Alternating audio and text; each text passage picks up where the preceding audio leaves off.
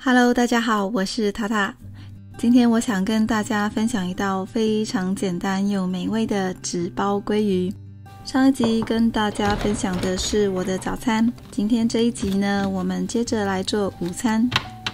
我自己的食量不大，有时候吃过早餐，午餐大概就不会吃了，或者是像这样简单的弄一份烤物来吃。今天准备的蔬菜有芦笋，先削五六只，下面这边比较粗一点，可以用刨刀把外皮刨掉。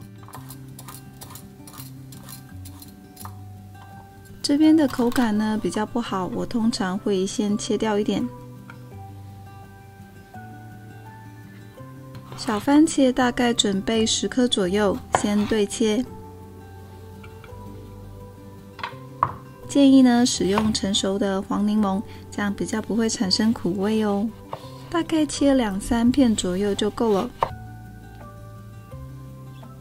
剩下来的柠檬呢，你可以挤出来泡成柠檬水。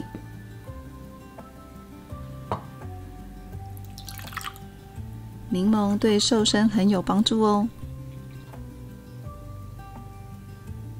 现在呢，鲑鱼差不多已经退冰好了，用饮用水稍微的冲洗一下，然后再用厨房纸巾擦干，用一点盐巴、白胡椒粉调味一下，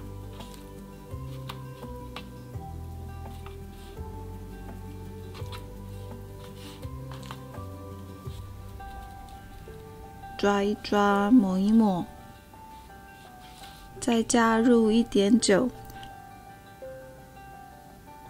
先这样静置十五分钟左右。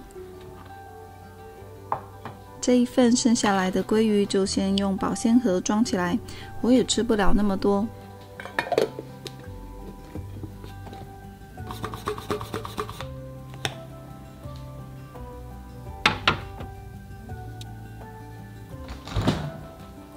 我先撕一张烘焙纸铺一下底，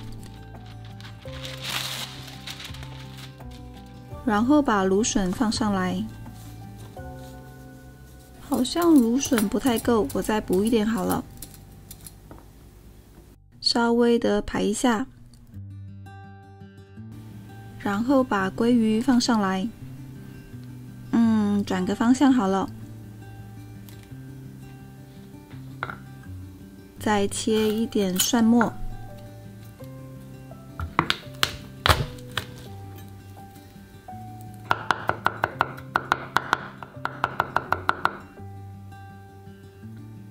把这些蒜末呢均匀的铺在鲑鱼上。我觉得烤鲑鱼加一点酸豆进去，应该会蛮好吃的。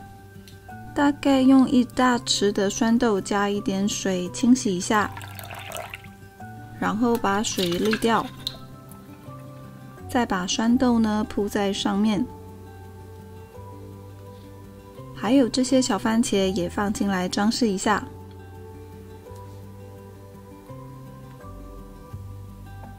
最后是柠檬片，嗯，光是这样摆呢，看起来就超好吃的。这边还有一点柠檬，挤一点上去，淋上一点初榨冷压橄榄油。我想在上面再撒上一点干辣椒，装饰一下。再来一点黑胡椒。现在呢，就可以来包裹一下我们的纸包鲑鱼喽。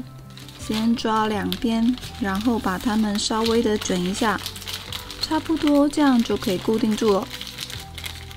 两边也是这样的方式，把封口卷起来，然后放到烤盘上面来。烤箱先预热到一百九十度，等预热好之后呢，再把整个烤盘放进烤箱，大概烤十到十二分钟左右，时间就看你的鲑鱼大小、厚度而定喽。哇，好烫！先拿一个盘子来装一下。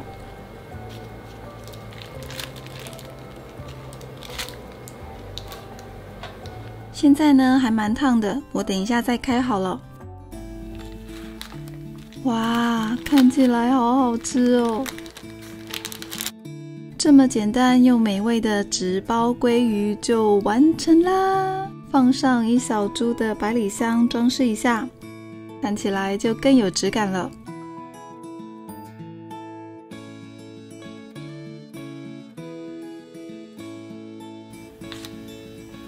我先切开一小角，帮大家试吃一下哦。这个鲑鱼呢，好嫩哦。然后鲑鱼跟酸豆的味道很搭，可惜酸豆好像放的太少了。我中午没有吃淀粉，来喝一杯气泡水，增加一点饱足感好了。像这样中午简单的弄一份，不需要花太多时间，而且还很有饱足感呢。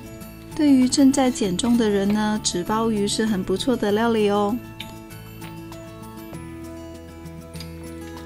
好啦，今天的一日三餐就到这里，下次会跟大家分享我的一日三餐晚餐料理，敬请期待哦。那我们下次再见，拜拜。